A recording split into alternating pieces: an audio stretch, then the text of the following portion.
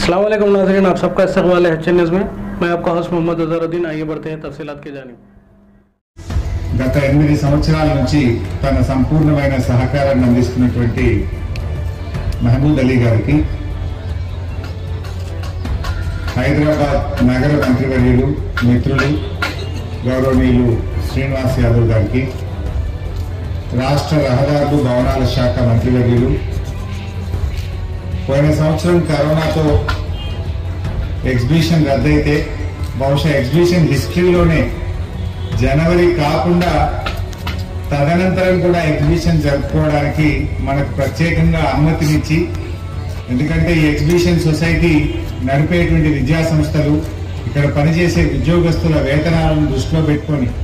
మనం కోరగానే అనుమతించినటువంటి నా మిత్రులు సహచార మంత్రివర్యులు ప్రశాంత్ రెడ్డి గారు. అదేవిధంగా మన హజ్ కమిటీ చైర్మన్ సలీం గారు టిఎస్ఎంఐడిసి చైర్మన్ ఎర్రోల శ్రీనివాస్ గారు మన వైస్ ప్రెసిడెంట్ అశ్విన్ మార్గం గారు కార్యదర్శి సాయినాథ్ దయాకర్ శాస్త్రి గారు జాయింట్ సెక్రటరీ సురేందర్ గారు ట్రెజరర్ పాపయ్య చక్రవర్తి గారు ఆనంద్ గారు చంద్రజిత్ సింగ్ గారు అదేవిధంగా మన ఎగ్జిబిషన్ సొసైటీ సభ్యులకు పాత కార్యవర్గానికి జర్నలిస్ట్ సోదరులకు అందరికీ నా హృదయపూర్వక నమస్కారాలు. ముందుగా ఈ ఎనభై రెండవ నుమాయిష్ను ఎనభై రెండవ సంవత్సరం నుమాయిష్ను ప్రారంభించుకుంటున్న సందర్భంగా మీ అందరికీ శుభాకాంక్షలు అభినందనలు. పంతొమ్మిది వందల ముప్పై ఎనిమిదవ సంవత్సరంలో ప్రారంభమైనటువంటి నుమాయిష్ మన హైదరాబాద్ నగరానికే కాదు యావత్ దేశానికి వివిధ రాష్ట్రాల్లో కూడా అత్యంత ప్రజాదరణ కలిగినటువంటి నుమాయిష్ మన నుమాయిష్ ఇక్కడ జరిగేటువంటి जो बयासवा एग्जीबिशन आप नुमाइश और संदर्श